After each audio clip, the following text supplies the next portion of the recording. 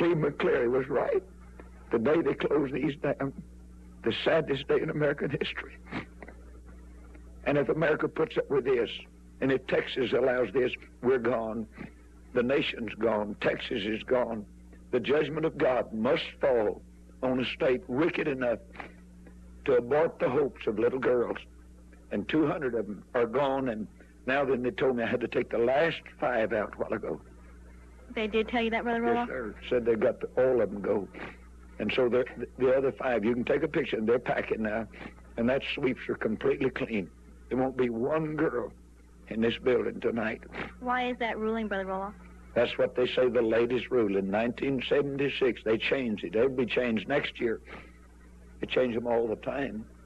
There's nothing Christian about it. There's nothing American about it. There's nothing scriptural. There's nothing uh, constitutional about it. They're the lawbreakers. They've broken every law, dear. What if George Washington were to come back on his old horse, Lexington? What if Paul Revere were to ride through this country tonight? What if Patrick Henry were to come back saying, give me liberty or give me death? And yet we got death out of it, see? And yet we'd never give in to the humanistic program of the state. Infidel uh, to the core. No God, no Christ, no Bible. This is the book. I'm not discouraged, but I'm brokenhearted. Anybody would be. Well, they said that in by law you could have five girls, and, and did you realize this was going to happen today? No, I didn't. I thought I thought we could have the five, but uh, they they waited to pop that on me till it got in here, and uh, you, you see if there's any tears flowing on their faces. You see, ask them if they prayed last night before coming. How do you feel about having them in your home, Having who? the state workers? That's all right. I'm not mad at them. They're tools of the state. They're the. uh, They just have to do a job. See, I mean, uh, I wouldn't do it. Oh, I wouldn't wear their shoes for ten million dollars a minute. I wouldn't do it. What are you going to do now? Just pray and believe God, and there'll be a better day. There'll be a better day. God didn't lead me to build all these buildings and fly millions of miles, day and night, and and not keep on. But Brother Roloff, didn't they didn't they say didn't were we talking about reconstructing your the structure of your school? Yes, we'll be working on that, but today's the day. This is. I mean, across the street is Memory Gardens. Over here is the Garden of Memories. That's all we've got left today. Is remembering the happy boys. Can you imagine this being empty? The dormitory being empty. Millions and millions of dollars that the government didn't put one penny into. Not one cent did they put in into it. The world, the whole world. I hope Mike Wallace will tell us. Somebody ought to take a stand.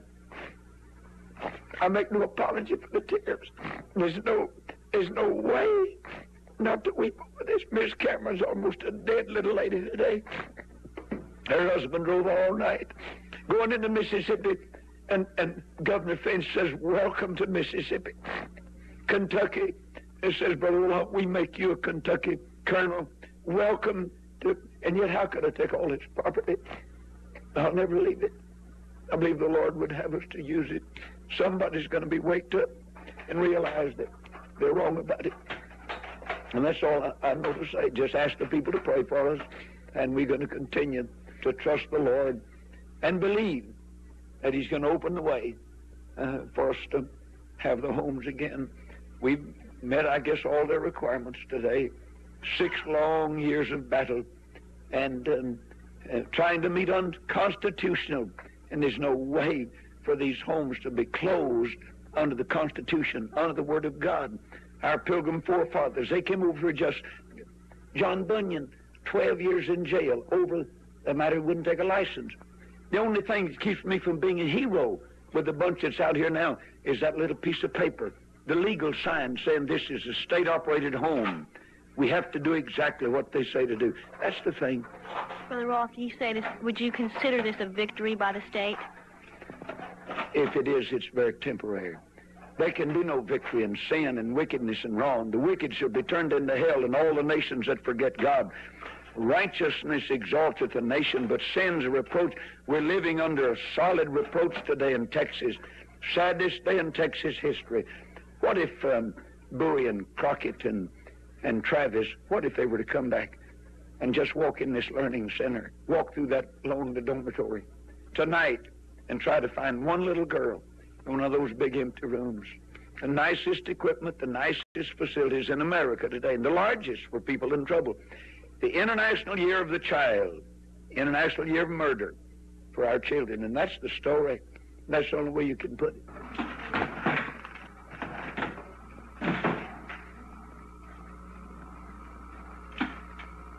tell you what, like you go in one, you go in one room get the rest of the things, and then you go in the other and you constantly not. Pretty hot out there, isn't it?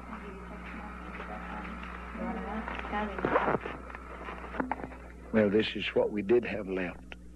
And this is our last fight. And uh, Beth, I'll let you say a word, honey. Where'd you come from? New York City. I grew up over there in the ghettos, and all I learned how to do was fight and take drugs. I never did learn anything in school. I just rebelled against any authority.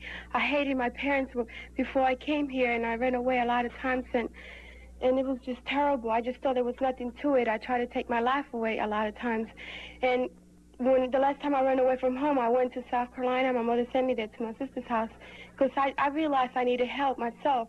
And when I got there, I met this lady, and she told me about these homes. Well, the Rebekah girls, that happened to be over there on tours, and they were giving their testimony, and I was just listening to them, and I was crying my heart out because I just, I just wish I could be like one of them. And then she asked me if I wanted to come here, so I said yes. I came here my own free will. And when I first came here, of course, I didn't hate it because I wasn't safe. I mean, I hated it because I wasn't safe. And um, I just didn't like it at all. But a week after, Brother Roloff was preaching in church, and I gave my life to the Lord. And ever since then, it's been a big change in my life. I don't hate anybody. I love everybody. And this this is my father here. This is my father. And this is my mother here. This is the only parents I ever had in my life. These are the only people that give love to anybody, that are willing to take anybody, no matter how they are. These are the only people that will care for anybody. I love these people, and I love these homes, and I just wish these welfare people could just get off our back and leave these homes open. And instead of closing these homes, they ought to make build more, and, and don't just take a big load out of the cops' back and, and out of people's back. And this is a great man. This is the best man in this whole wine world. And all these people, they just have love. They care for us. They sit with us, and they talk with us, and we have a home that we just have authority. We we learn how to obey here. We learn how to be a lady. We learn how to just love everybody and how to how, a lot a whole bunch of things that I didn't even imagine of in the world. Amen. I love you, brother Roloff. I love you too. Where are y'all gonna go? I don't know. I just I want to stay here. My year will be up next month, so I'm staying here as a worker. Brother Roloff, where do you think they're gonna go? I do not know. But they'll never be turned on the street, That's right. and they'll never go to TYC. That's right. They're not they're not criminals anymore. That's right. The whole country needs to know there's going to be a drastic change. I believe God's going to visit judgment on somebody within the next 12 months. You wait and see. Do you, There's think, gonna be- do you think Mark White reneged on his agreement with you? I'm not making any comment about Something that. happened here that, that I- you weren't counting. I don't know. I don't understand. I'm not going to judge anybody or condemn anybody. I have nothing but love, but uh, disappointment in uh, uh, losing these five. At least these could kind of keep the dormitory fires burning, you know. And we thought we could keep five. Our lawyers thought we could keep five, but according to some of the late rules and regulations, you see, the state is making its bid for all the children. Parents don't own them anymore. The church doesn't own them anymore. They belong. See, that's just like Russia.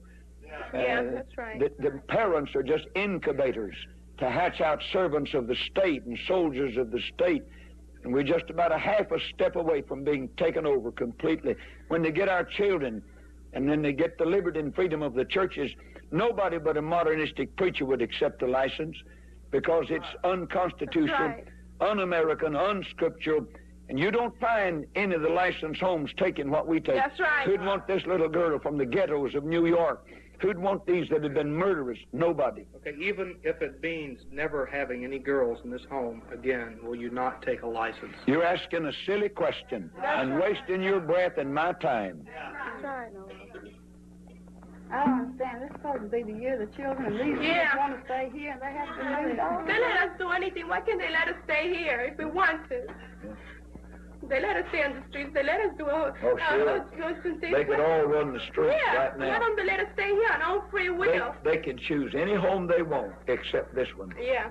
The stay homes, they don't get help. I know they don't. You know what? You know what? The cops told my mother in New York, my sister, she wants to, my mother wanted to put her in a stay home. And you know what they told her, my, personally, that they, that, that she put, that if they were, if they were her, they wouldn't put her, they would just leave her on the streets. That's how, that's how bad the stay homes are. Yeah. And I've seen friends of mine, a whole bunch of friends, that they go to stay home, and you know what? They come out, they come out seven times worse.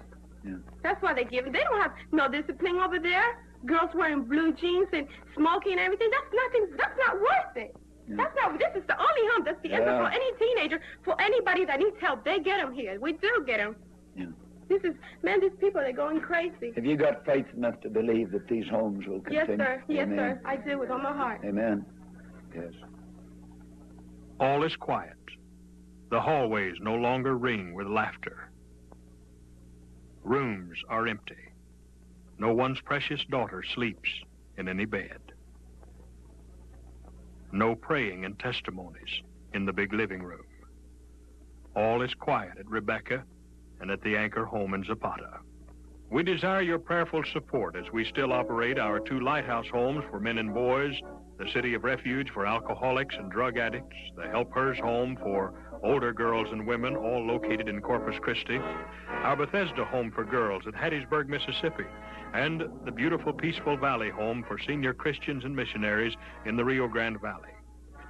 These are your ministries. Pray for them daily and support them as the Lord may lead.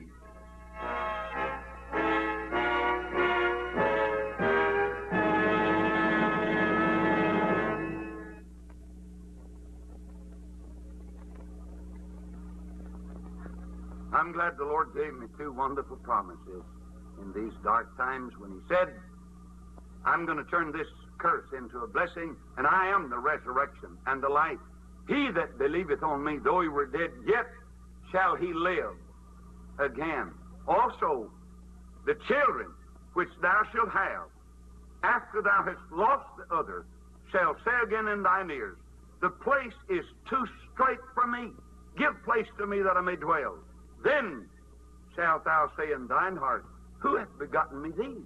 Seeing I've lost my children. And I'm glad to take my stand with the mighty Christian patriot Patrick Henry, who three days after he saw a preacher beaten and he died because he would not take a license, said with great compassion and tears, Is life so dear, or peace so sweet, as to be purchased at the price of chains and slavery? Forbid it, Almighty God. I know not what course others may take, but as for me, give me liberty or give me death. I'm glad that the God on the mountain is also the God in my valley. God on the mountain is still God in the valley. When things go wrong, He'll make them right. Brother Roloff is still broadcasting daily on the Family Altar program, heard on more than 170 radio stations. You may write him at Box 1177, Corpus Christi, Texas. Though Rebekah and the Anchor home have been closed, we're expecting these homes to reopen soon under the new reorganization plan. Again, we desire your prayers.